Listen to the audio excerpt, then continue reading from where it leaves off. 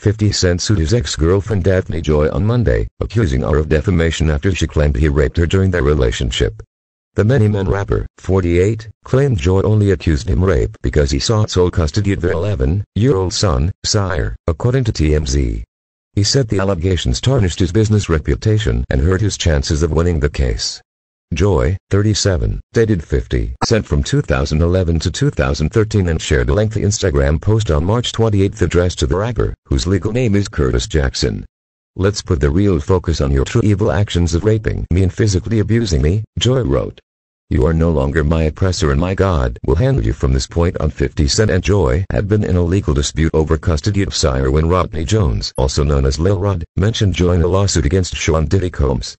The suit accused Combs of abusing and manipulating Jones. In the documents, Jones said Combs paid women monthly as sex workers, and he named Joy as one of those women. Crime scene tape on the street.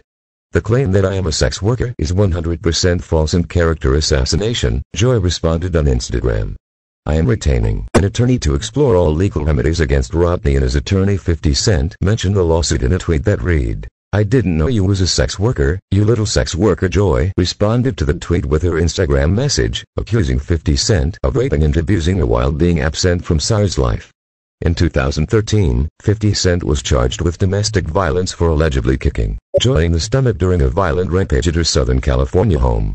He eventually pleaded no contest to one count of misdemeanor vandalism, and the domestic violence charge was dropped.